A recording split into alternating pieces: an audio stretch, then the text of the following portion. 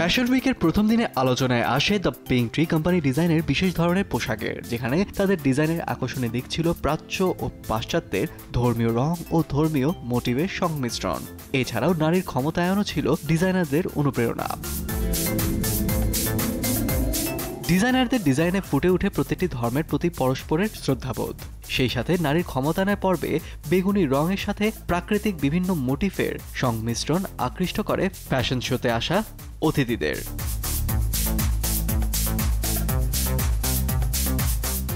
দ্বিতীয় দিনে ফ্যাশন শোতে আলোচনায় আসে সিলভার ও নীল রঙের সংমিশ্রণের পোশাক, চাঁদনি। আকর্ষণীয় এমব্রয়ডারির কাজগুলোর কারিগর ছিলেন বাহাবালপুরের গ্রামীণ মহিলারা। দুই দিনব্যাপী এই আয়োজনে পাকিস্তানের সকল নামি দামি ডিজাইন ও সুপার মডেলদের অংশগ্রহণে ফ্যাশন উইকটি ছিল আলোচনায়।